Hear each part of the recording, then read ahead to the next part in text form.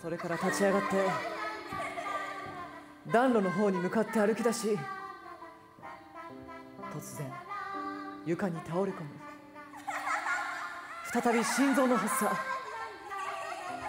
2時3分心臓停止。すべては The End もちろんこの時スコット自身は自分の命があと2時間なんて知っちゃいない。なぜ俺がそれを知ってるかって？つまり俺はスコット・フィッツジェラルドを演じる役者であって21世紀に生きてる人間だから。そう。今日は2018年7月8日。だが芝居の中では1940年12月21日。そしてこれがフィッツジェラルド人生最後の場。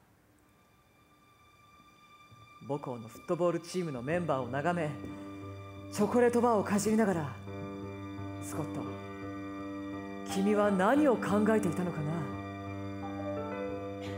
ディアスコット時計の針は前へ前へと進み